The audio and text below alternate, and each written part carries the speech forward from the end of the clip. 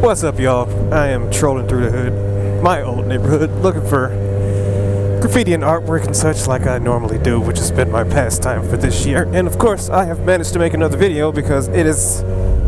Uh, my junk.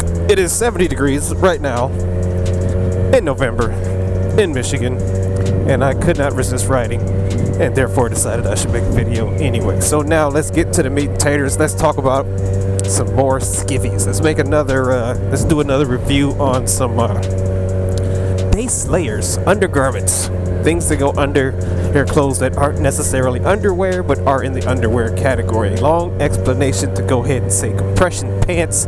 I have some, com nice. Those are cool. I have some compression pants that the wife bought me for Christmas last year and uh, just got around to having to wear them on the motorcycle. I've used them for various uses running when it's not too warm and not too cold. I use them because uh, I usually wear the, uh, you call them, joints? Um, copper fit ankle or shin sleeves because my shins are made out of matchsticks and balsa wood. So I got crappy shins, so I needed something to compress, but I also didn't want to be super hot or super cold.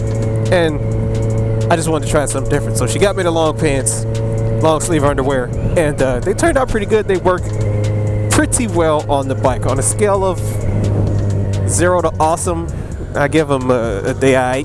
They're okay, you know. They're not the best. It's hard to compare compression shorts and compression materials because quite literally they're all the same crap. They're all like 95% polyester and 5% the label that pokes you in the back when you're trying to adjust them. So these are alright. They do a good job of cutting that bite in the wind like I've ridden with these on and I would say as low as 45 degree weather and it is just an alternative to wearing straight up long johns under my riding gear. They're thinner which means I get a little bit more movement in the legs. They don't make the pants as tight. Uh, and they just cut that bite of the wind. It's almost like a windbreaker type of effect, where it's not so much that they're keeping you warm, they're just keeping that cold air from hitting your skin directly when it happens to cut through the pants and wicking your body heat away from you. Um, you got to make sure you get the proper size, which is paramount for many, many clothing, not just compression wear. But if they're too big, of course, they won't give you the added benefit of compression because they just, they just, you know, they feel good. They feel good on the skin. They feel good against the body. They do give you a, you know, nice comfy compression feeling where they're not too tight and not too loose as long as you get the right size. I'm rocking a large right now.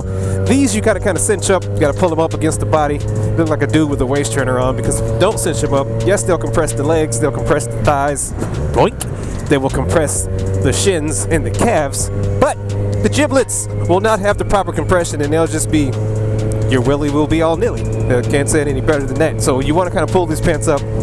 They do not have a uh, custom resting area for the male parts like the Belief underwear do, but these are not marketed as riding pants or riding underwear. They are marketed as compression pants, and I am using them as such while riding the bike. So I believe if this company, uh, Dr. Skin, of course, it sounds like an adult website, which it is not, of course. Uh, it's just that name is I don't know. That name's that name's pretty raunchy. So if they have a brand of riding pants, I do not know. I will have to go ahead and do some research, but I don't think so. Uh, the wife got me these as a Christmas gift.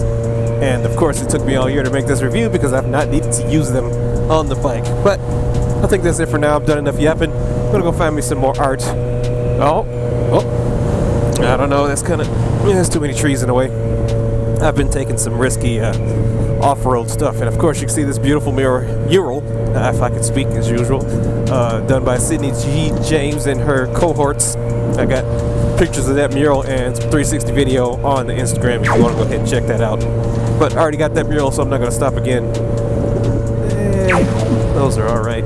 I do a lot of times skipping art that I could have got before. That way I got something to go back and get next time. So I don't want to get everything in one whop. But, so, anywho, Dr. Skin compression pants in the right size are good compared to any other my compression wear. Eh, about the same. There's no added benefit getting these over anything that I've already got. Um, like I said, they feel good on the skin. They're cool but warm. and that's it. So I don't really have a go ahead and get these, grab these Dr. Skin joints for sure. No, if you get them, you get them. If you don't, you don't. They're not paying me anything. Just saying, I rocking them, and they're pretty comfy. So that's it for now. I'm gonna enjoy the rest of this warm day because, like I keep saying on my last couple videos, this might possibly be the last day, but who knows? If I get more warm weather, I will hop back on the old steed and yap some more at your faces. Catch you guys later.